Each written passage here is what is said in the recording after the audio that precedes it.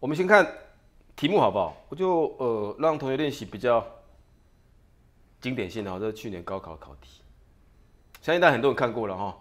那无论如何，就把题目还是简介一下它，可以稍微认真听，就把它当成考前，就对公文的一个再熟悉了哈。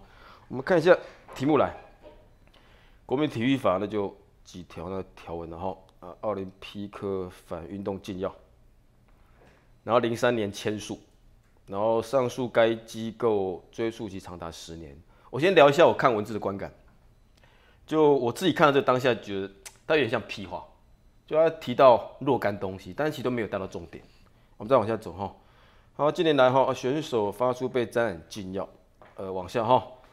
重点的题文应该从这里着手了。然后行政院与诉件，哦，像这个地方就要小心哦。他说行政院与诉件，我自己读考题的经验是，就可以稍微做归纳。当你没有明显的在题目里面看到发文机关跟受文机关，就你没有看到谁给谁的时候。在走题文的时候都不必真的太严肃，因为它有可能是些废话。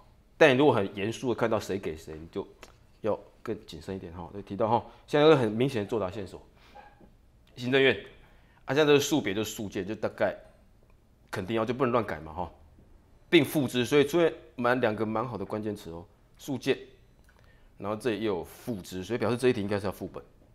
好，给两个机关哈。那我们看呃，请该部。就行政院就发给教育部嘛，叫要做什么？正式禁药管制啊，协同若干机关有作为跟宣，哎，这个关键词我觉得可以看，宣导跟监控，所以表示提问应该是重点朝这个方向，就行政院给教育部应该让他把主要能量聚焦于宣导跟监控，这是我们理解题目一个比较大的重心，就你还是要先找到谁给谁做什么啊，再去反推。那从这里反推，它前面可能就带到一些事情的重要性，所以可能国际上很在意禁药，那我们被验出有禁药，啊，就大概是题目了哈。所以有选手用禁药，所以行政院请教育部就处理一下。那我们先看，呃，今天有四份同学改呃写的东西，我就从头帮各位改一下它哈，就看老师怎么看一份卷子来。好，档号应该没问题哈。行政院发文机关至中，台北市这个目前都对，我们把它打个勾。教育部确实设文机关也对，所以目前这同学都对，错在这个地方。我们刚刚带题目时有明显提到题文的规定是数件，但是却写最数件，就是我们刚刚提到的，一旦谁给谁启动之后的所有的文字，你都要极度的谨慎，比较太不谨慎，这样就被扣分。主旨呢，正是运动管制问题，大概也合理了哈，确实是发文的主要目的来，所以目前错在个数别哈，还会扣分哦。平均分如果是十分左右，像他这样可能就很难在十分往上。然后这有格式有误，跨页的时候确实很容易导致格式有误。哎，其实要空三格，他没有空，所以要扣两分的。说明一，体育法哈，抄题目可以，因为近年来的考题大概倾向说明都抄哈。近年来接连验出，这也都是抄，所以要先肯定他。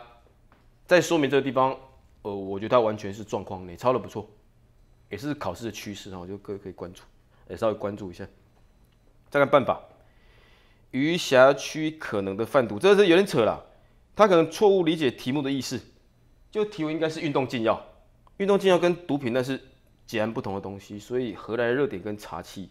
所以我猜他应该是不太会写或题目理解有误，这个肯定会扣大分哦。所以哦，这个办法一，我觉得会严重的扣分。二嘞？对呃禁药记录的运动员一律禁赛，这个也是个问题。有使用禁药就要是否要一律的禁赛，那可能要是另一种法规面，所以我猜他应该是对办法的写作不怎么娴熟。那我们再往下改哈，所以办法两点应该都是会直接导致扣分。正本呢，教育部可以打勾，但副本肯定错。我们刚刚带题文有提到有中华奥会跟另一个机关，所以我们刚刚缺掉那个副职，所以这一样又是扣分。院长签字张单没问题，我们算一下扣几分，好不好？数别错。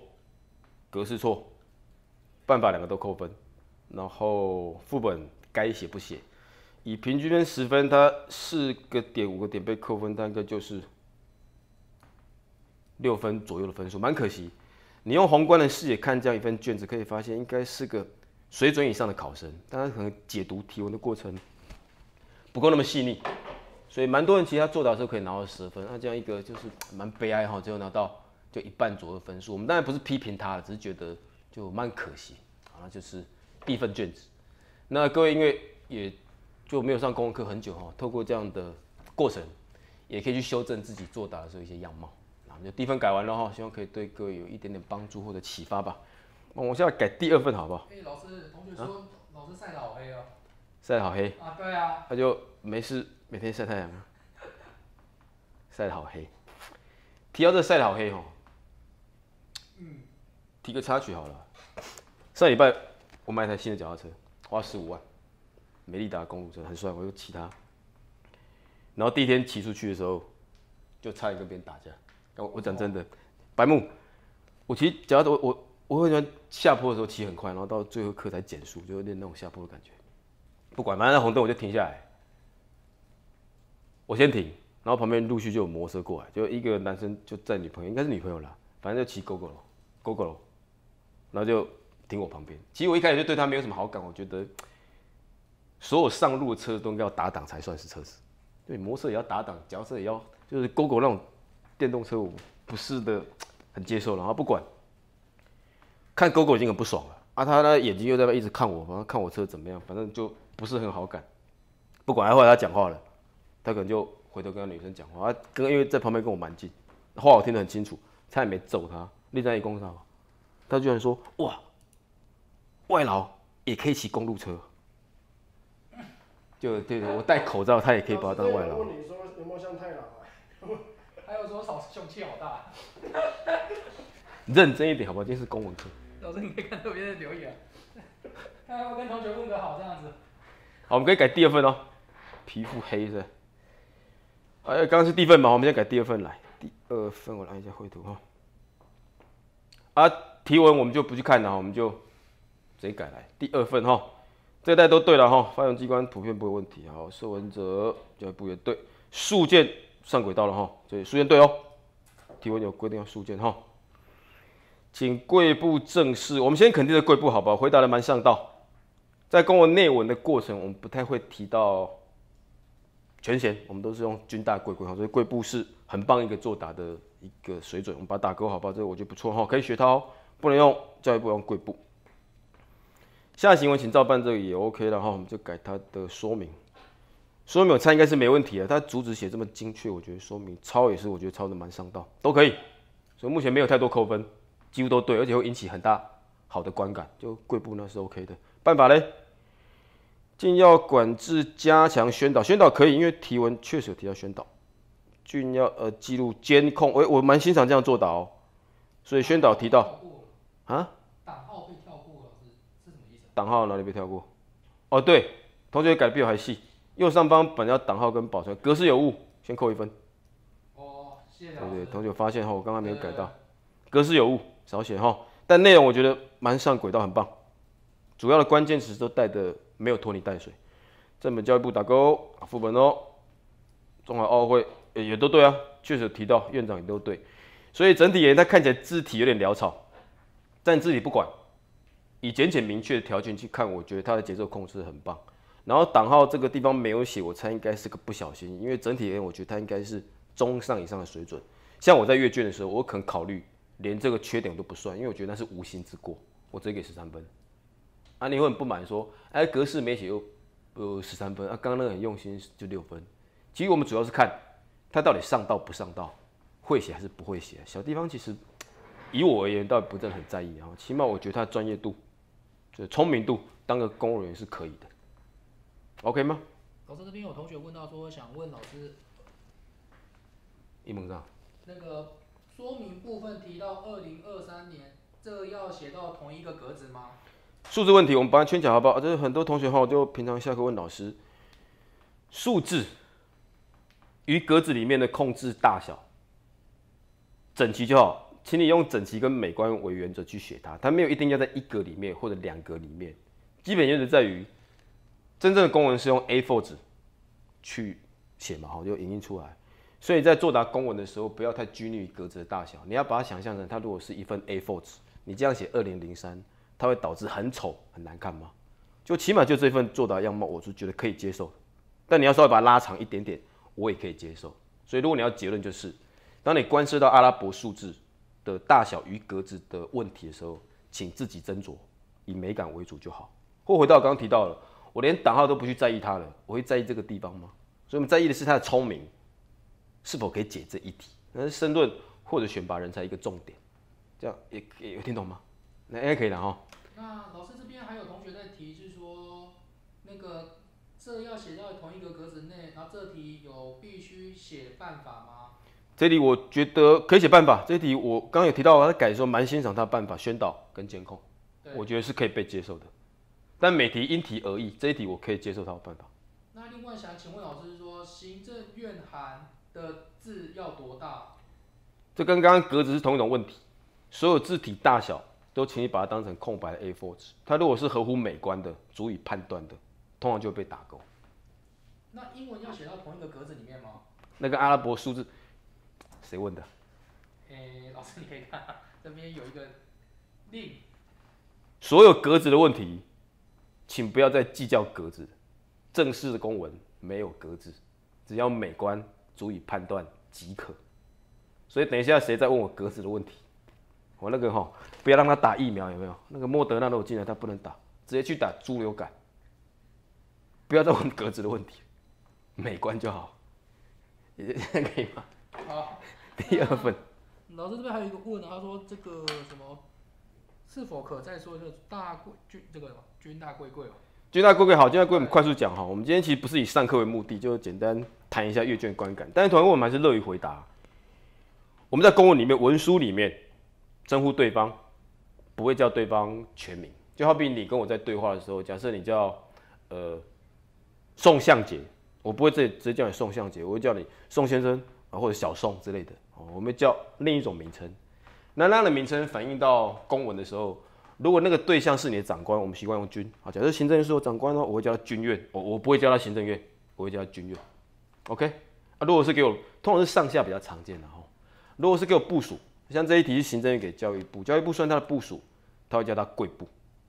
所以如果你没有这方面的基础，你可以记作答比较常见的，我们称呼长官要军，啊，称呼部署用贵。那无论如何，就是在内文就主旨说明办法当中，我们其实不太会称呼到对方的全名。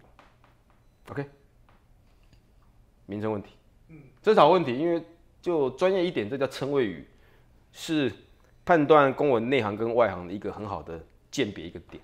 所以通常只要看到会去写到贵或者均，大概就水准以上。所以你可以发现，我刚刚改主旨看到贵的时候，就像看到知己一样，先圈再讲，然后回馈一下，那是一个好的作答样，也会引起很好的阅卷观感。那老师这边新的同学有在留言是说，如何判断需不需要写办法呢？要看题目，这也是个好问题哦。所以通过办法，我们先谈什么办法？办法就是，假设我行政院写公文给教育部，我是否叫你做事？我如果叫你做事，那一份文书里面就有办法，办法就是做事嘛。那有时候公文我发文给你，不一定叫你做事，我只是通知你，让你了解某种事情，有可能。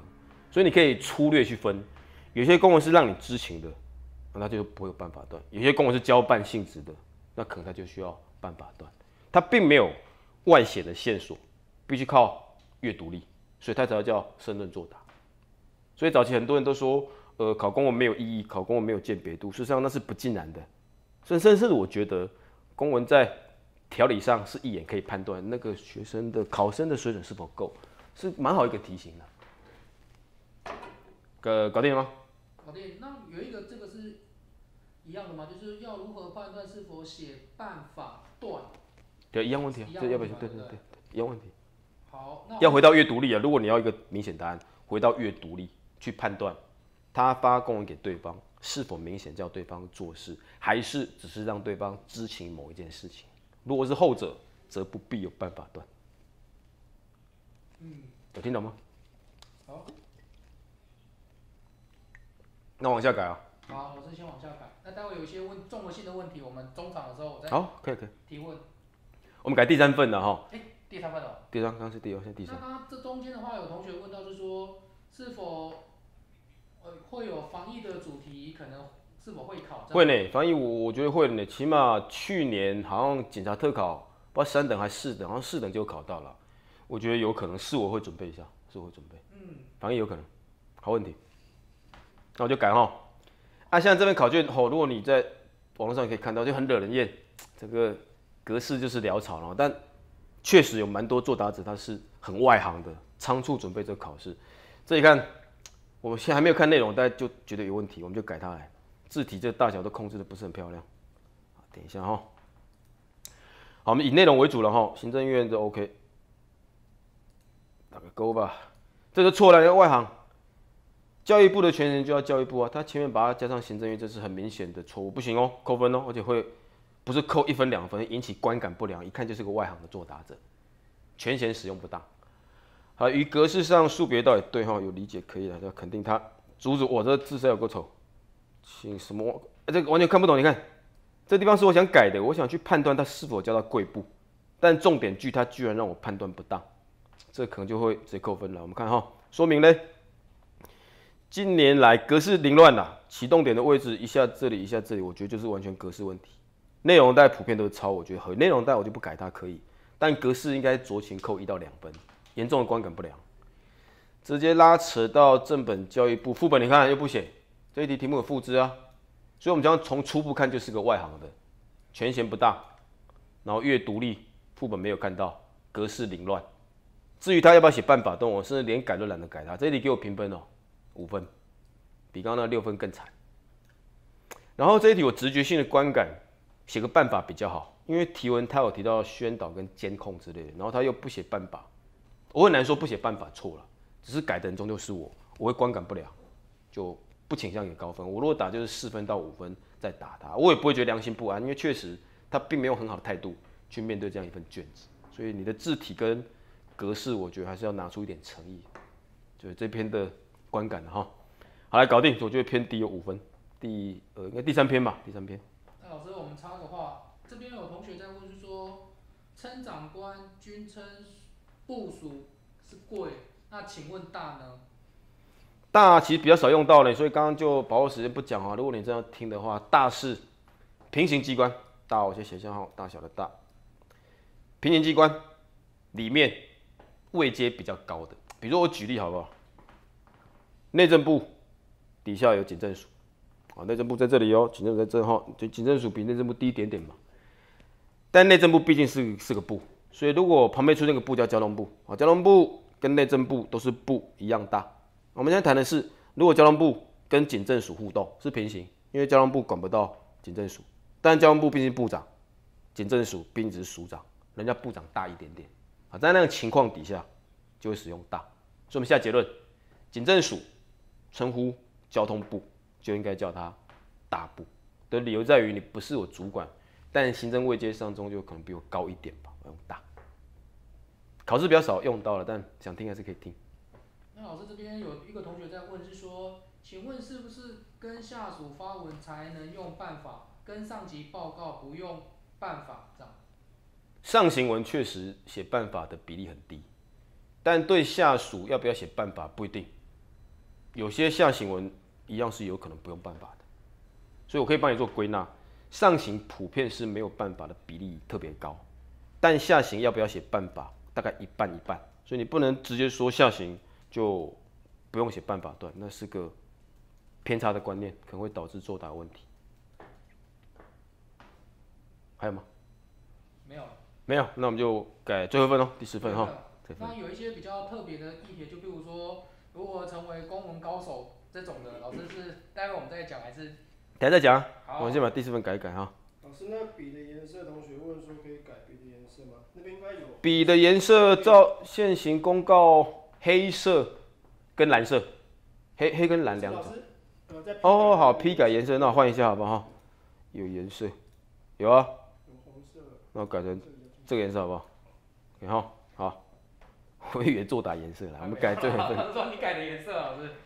行，这个这字体就漂亮哈，字体漂亮，这观感就好啊。教育部书件，你看现在目前哎出现个错了，小瑕疵，保存期限的。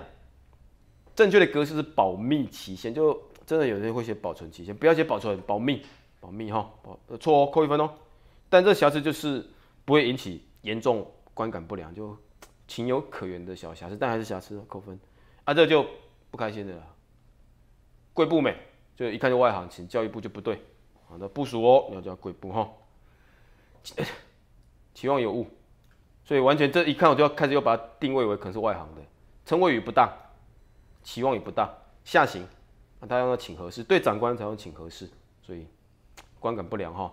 他大概知道主旨内容可以用抄，但在小细节就就扣两分，所以呢扣一分，再扣再扣，再说明一呢，选手软禁要好抄可以接受，就我没有很欣赏，但加减可以接受。我们再看办法。奥林匹克委员会 设有什么？直接打叉啊！像这个，我觉得就各位可以多关注。我们刚刚设定所谓的办法，就是我请你做事，某一件事情请你做，写在办法。那你看它文字，奥林匹克委员会设有反禁要，该机构设有反禁要管理事宜，是做事吗？那是我跟你讲，那个机构在管，又不叫你做事，所以抄错，他完全用抄啊，抄错，打叉。二的要错就都错了。我国若干时间签，哎，签署什么？啊，我国签署也不是叫你做，签署是早已发生的东西，那也不是明显交办的作为。所以，即便我认为这一题要写办法，但他办法就是不恰当，被扣分，打叉哈。所以题目固然蛮多资讯可以让你利用，但你也不应该抄到不该抄的地方。这二零零三，我再稍微停留一下，因为反映到刚刚有同学问这个问题。我们刚刚有一份卷子是二零零三挤在同一格嘛，我可以接受。啊，像你看这个范例。他用两格写它，我也可以接受，所以就可以消失我们刚刚什么英文字母啦、数字啊、格子的问题。整齐，所以看起来蛮漂亮，数字可以接受啊，但它内容就确实不当。正本呢，啊，教育部可以啊，两个副本也对啊。院长，院长通常我们会拉到这个地方比较好，所以他可能写太右边哈，我们尽量拉到左侧。所以这是我们今天改的第四份哦，整体看起来是他有个好的观念，知道最近很流行是可以用抄的。但办法抄的蛮糟糕，我猜啦，他应该是不太会写办法，甚至如刚刚同学提问的，他不知道要不要写办法啊，一个忐忑就随便乱抄题目。所以我们再次聚焦于到底有没有叫对方做事。这一题我的观感是有，因为他有跟教育部说啊，你要正视那个问题啊，你要宣导啊，你要去监控啊，所以应该是有叫他做事的可能。是我在作答就会发挥啊，但是发挥不当。整体这份评分哟。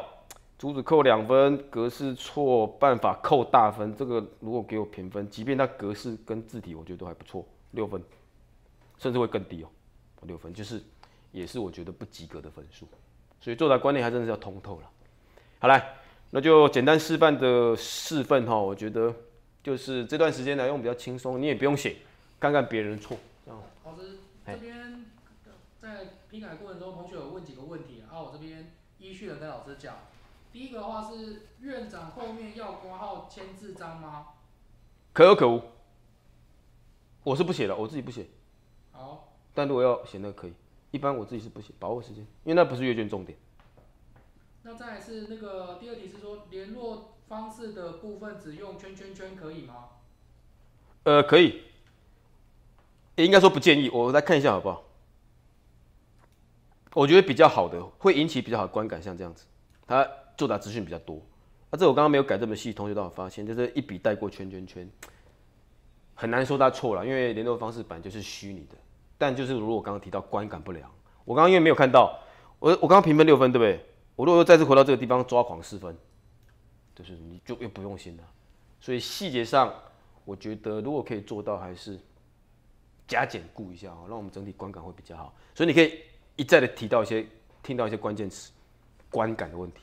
对申论这一点其实吃的蛮重要。了解。那那个有个同学问是说，请问普通件是不用写普通吗？数别吗？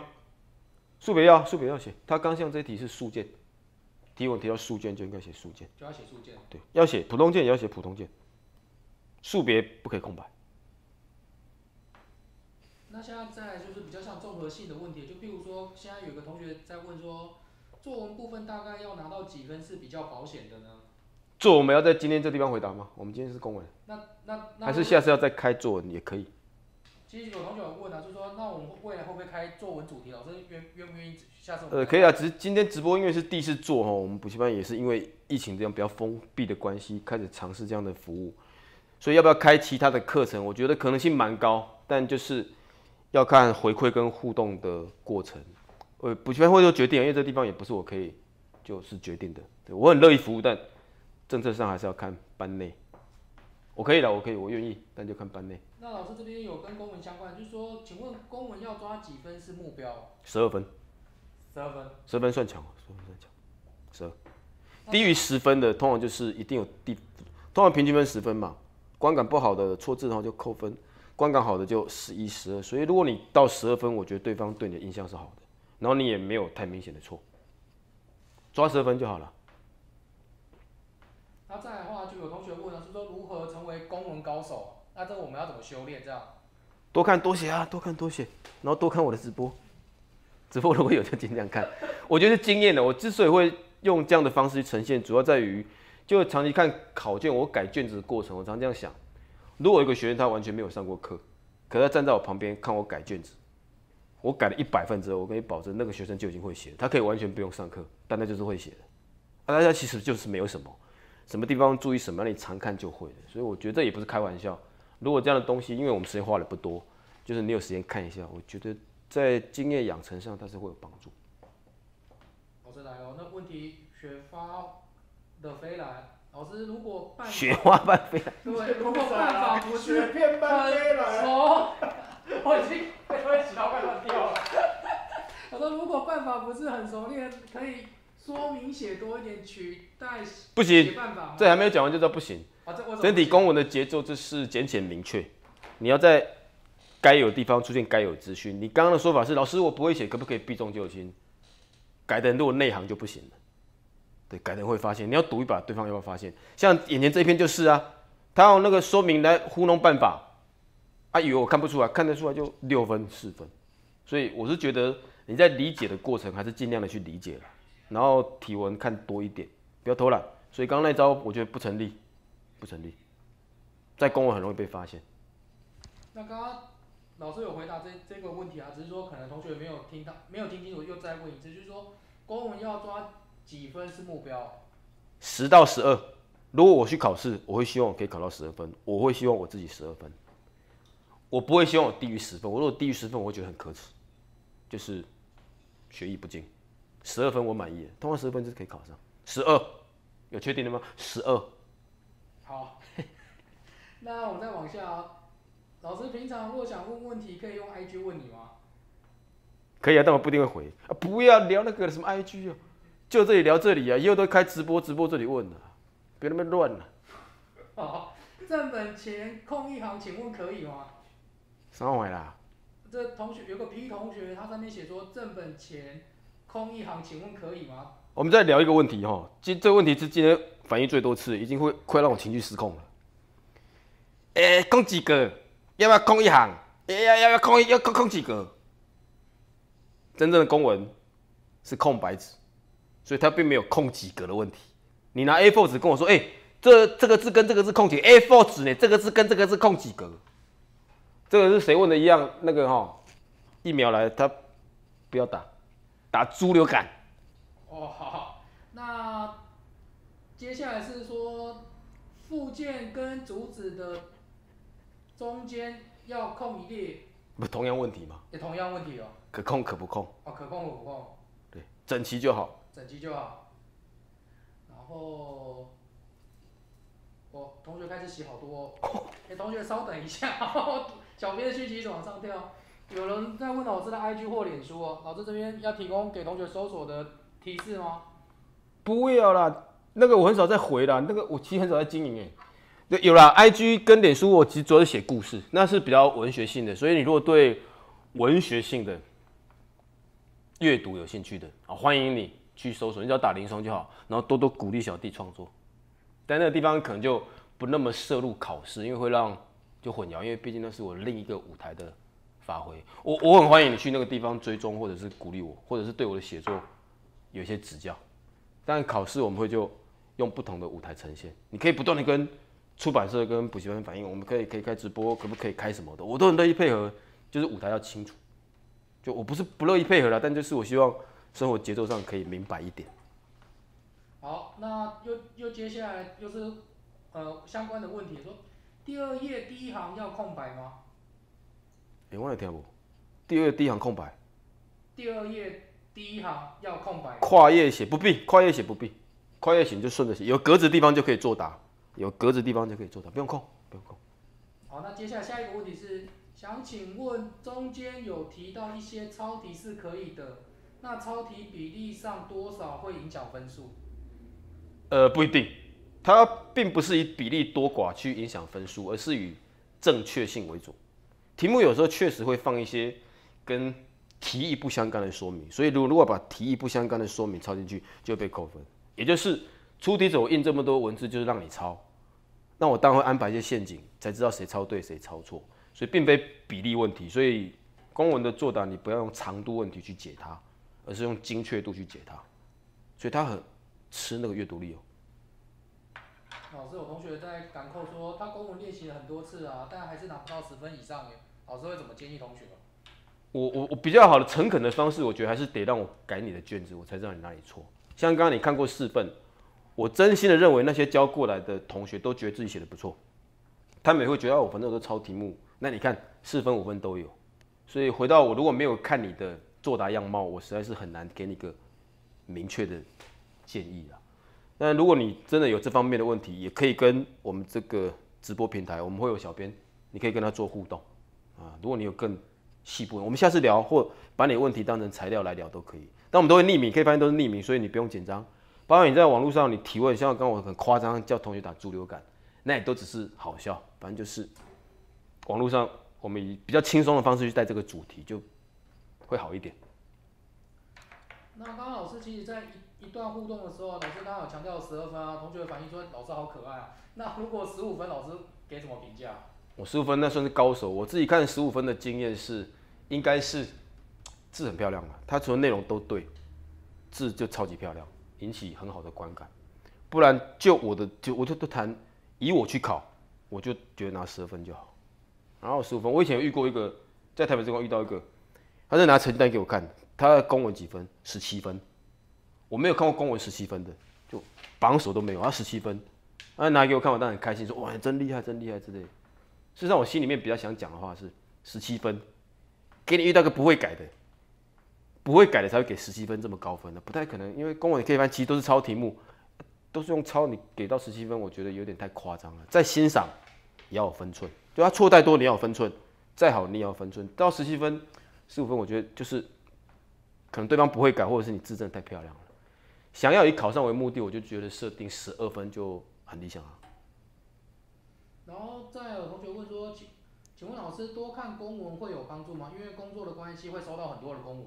可以，但我怕会扭曲，因为考试公文跟实务公文还是有距离。考试公文跟实务公文还是有距离，了解。所以如果你要看我，就是觉得还是看题目啦，看题目。然后再有个同学问说，他格式都没有错，但是那个他总是拿七分以下。这跟刚刚反应很像，我得看过才知道呢。而且话又说回来，你说你考试的时候格式都没有错，对，你哪来自信啊？这四个也也他 他四个人交给我说，我猜他们也觉得他根本都没有错，但那也不是否定学生，谁会觉得自己有错？所以还是改过才知道了。所以这是个很好的现象。如果你还是有这方面的问题，就肯定申论都会这样子，你要是跟小编反映，或者你寄你卷子过来，我们去当成素材去聊都可以。所以就像刚刚老师说的，公文其实国考公文是批改很严格嘛，对不对？呃，严不严格我们不管，就是它是一个很明显的正确性啊。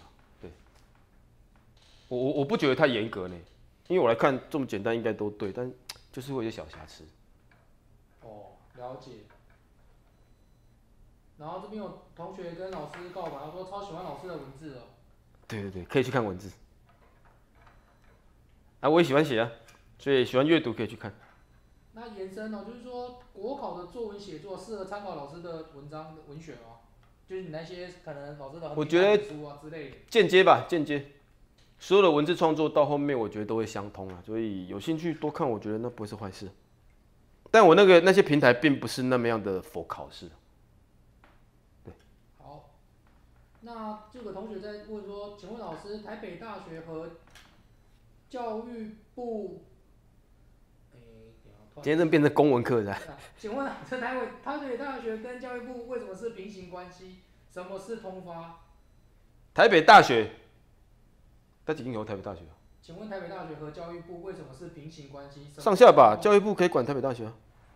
台北大学带几间啊？国立台北大学三峡那个吗？对啊。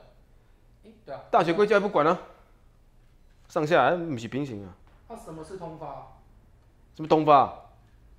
通通过的通，发行的发。同学问的话，我傻我了。问题要具体，我听不懂啊，听不懂。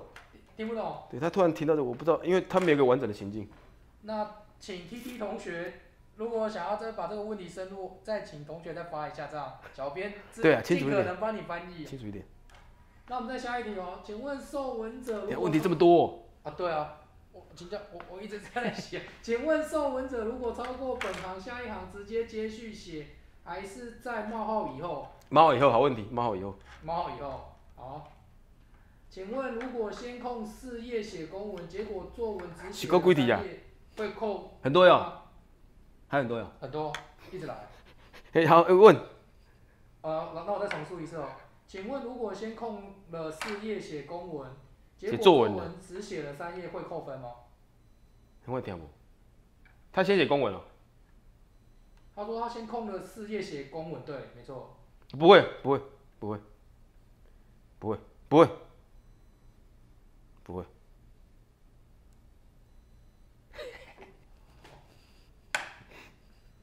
跨页第一行空三格再写吗？什么啦？哎、这个好，这个好难接啊。等一下哦，欸、虽然咱直播是隔几点嘛？到四点嘛，现在基本上是 Q A 时间啊。啊，Q A 好，Q 对 A。对对，看老师这边有没有，还是老师我拉近一点，因为这样子，有些我这样答，啊这样，无啥会使，你你你你划划一个，看看老师要，这样子我们就不用翻译啊，就是我们刚刚到这边嘛，啊老师你可以这样看，老师这样看得清楚哦。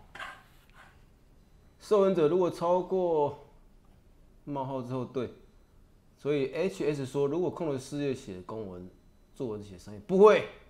然后六六说跨页第一行，跨页第一行空三格，不一定的，看你的位置啊。反正你接下页永远是跟前页的，不一定。